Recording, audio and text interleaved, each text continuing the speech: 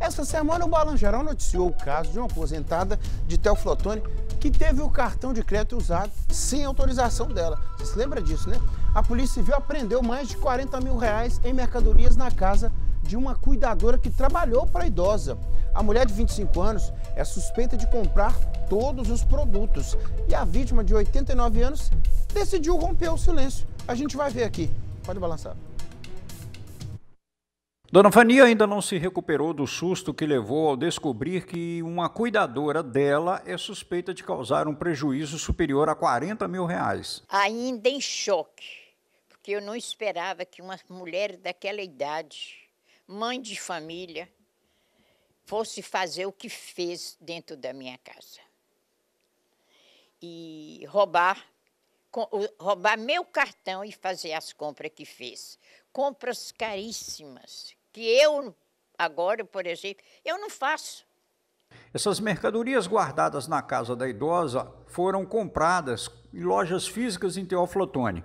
A mulher contratada para cuidar dela é investigada. A funcionária teria usado o cartão de Dona Fani. A farra de gastos com o cartão de crédito da patroa foi observado pelo gerente do banco por conta da movimentação, os produtos que eram comprados num curto espaço de tempo.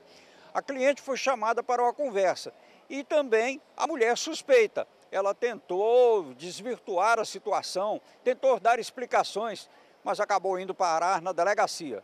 Quanta coisa ela comprou. O desespero dela quando viu meu cartão. E quem me chamou foi o Banco do Brasil, que viu que eu não gasto, que eu não faço esse exagero. E o Banco do Brasil me chamou. Eu falei, não, eu não comprei isto, eu não fiz isto. Aí o, nosso o Banco do Brasil telefonou para uma loja, a loja falou quem era a mulher. Aí eu vi que era uma funcionária e eu a chamei no banco. Ela assim embananou toda, confessou que foi ela, mas que inventou mil desculpas, mas na verdade ela confessou. Com ordem judicial de busca e apreensão, a Polícia Civil recolheu as mercadorias na casa da mulher suspeita. Algumas compras feitas pela internet nem tinham sido abertas. Perfumes, joias, bebidas, ferramentas. Segundo o delegado que apurou o caso, a infratora praticou furto. Um abuso de confiança, tendo em vista que a autora trabalhou dentro da casa da vítima, né? que é uma pessoa conhecida aqui em Teoflotone, e angariou do seu cartão de crédito do Banco do Brasil. E através desse cartão de crédito, é, percebemos que foram feitos saques, bem como várias compras em sites na internet através desse cartão. Como ela era uma empregada doméstica, na verdade, quase que uma cuidadora dela. Ao agir de forma continuada nas compras com o cartão da patroa, o delegado disse que a mulher pode receber uma punição mais severa. É um agravante que vai gerar uma pena um pouco mais alta.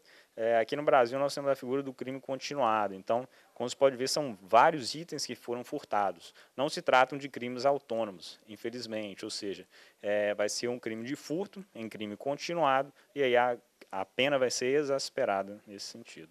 Por conta da liberdade da infratora, Fani teve que reforçar a segurança pessoal e da casa. Toda a minha família já sabe, todo mundo, e eu estou mais segura agora, tomei é, proteção, reforcei a segurança ela, ela, ela não pode nem pensar chegar aqui perto, porque a segurança está grande.